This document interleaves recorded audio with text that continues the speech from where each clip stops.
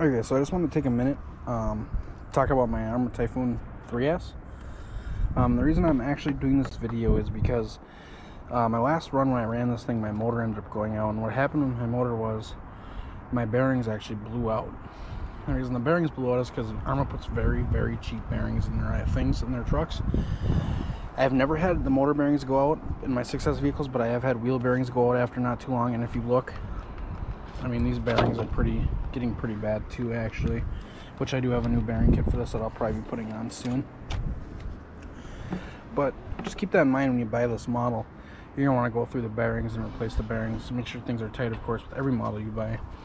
But I just want to share with you guys when you get this model, the first thing you should do take the motor out, pull it apart, and pull out your bearings. Otherwise, you're going to be waiting for a warranty motor. Um, so that is just something I wanted to share with everyone. Make sure you change out your motor bearings right away when you get this buggy. Um, it's going to help tremendously. If you don't change out your motor bearings, they probably will eventually end up going out. I only had two packs for this, and then the bearings went out. Uh, I did contact Horizon. Horizon told me they were going to send me a new motor. However, it was backwards, so I decided to order bearings and try doing it myself. Luckily, I got lucky. I was able to save my motor, so there's no waiting for me.